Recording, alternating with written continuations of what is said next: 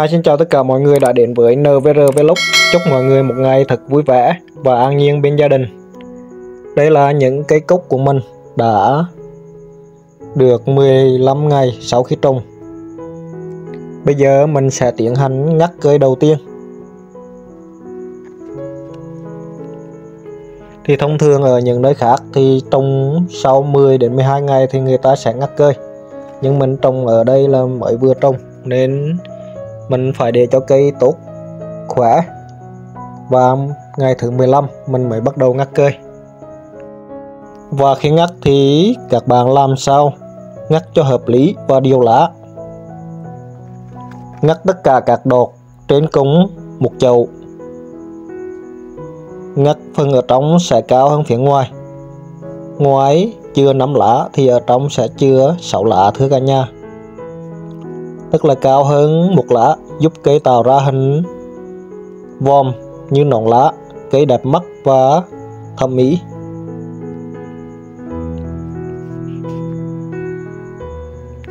Ước chừng làm sao cho cây trồng nó đồng đều về chiều cao. Và ta từng dùng cái đọt, cái ngọn hoa để ghim giống trồng thêm một đợt nữa, thưa cả nhà.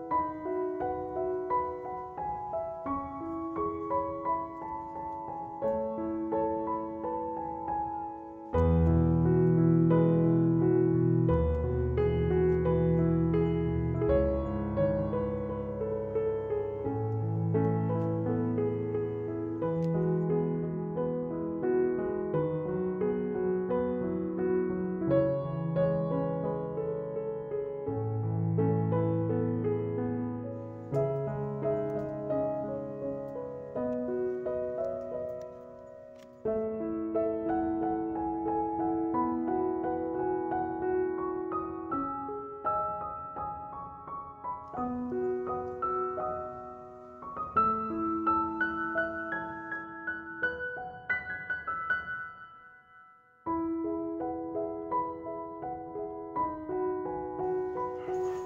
sau khi tiến hành ngắt cơi thì chúng ta chú ý phun thuốc trừ nấm bệnh.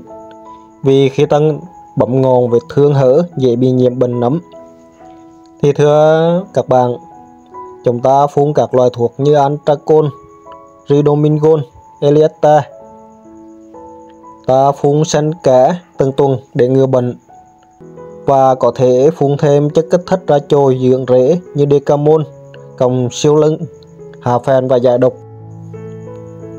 Ngoài ra ta cũng thường xuyên tưới phân DAB 18 460 5 ngày một lần để cung cấp đầy đủ chất dinh dưỡng cũng giống như tưới B1 để cây giải độc hữu cơ rất là tốt ngoài ra ta còn thường xuyên cả phun chất dưỡng rễ như humic giúp cây phát triển bộ rễ tốt hấp thụ chất dinh dưỡng tốt hơn. Ngoài ra cây có hiện tượng vàng lá thì ta sử dụng siêu vi lượng magie siêu xanh và B1 giải độc hữu cơ. Ngoài ra tưới trichoderma tưới vào chậu giả thế để cho giải độc phân hủy giả thế. Rễ bị ngộ độc hữu cơ nên ta cần tưới thường xuyên. Phân thì tưới 5 ngày một lần. Ngoài ra phun thuốc ngừa bệnh sâu rầy hạn chế sử dụng các à, loại thuốc như dâu nhũ dâu dễ bị chai ngọn và ta cứ luôn phiên các loại thuốc uh, bệnh để hạn chế sự kháng thuốc của cây như vậy thưa cả nhà mình đã ngắt cơi xong được một cho cái cốc của mình. Đây là những cái ngọn mình đã ngắt và sẽ sử dụng để nhân dụng lần thứ hai. Và đây là những cái chậu sau khi đã được ngắt cơi.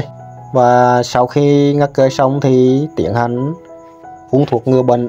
Vì cái giai đoạn mà ngắt cơi này cây dễ bị tổn thương. Và ta cũng thực hiện phun các loại thuốc ngừa bệnh như Antracon, Ridomingol, Elietta và luân phiên theo từng tuần Ngoài ra bổ sung thêm uh, siêu lưng hoặc các loại kích thích ra trôi dưỡng rễ như Decamon. Và cần thưa cả nhà, như vậy mình đã gửi đến các bạn kỹ thuật ngắt cây một bấm ngọn hoa cúc sau 10 đến 15 ngày trồng. Cảm ơn cả nhà đã theo dõi video của mình. Nhớ like và đăng ký kênh NVR Vlog để ủng hộ mình nhé. Xin chào và hẹn gặp lại mọi người ở những video tiếp theo. Bye bye.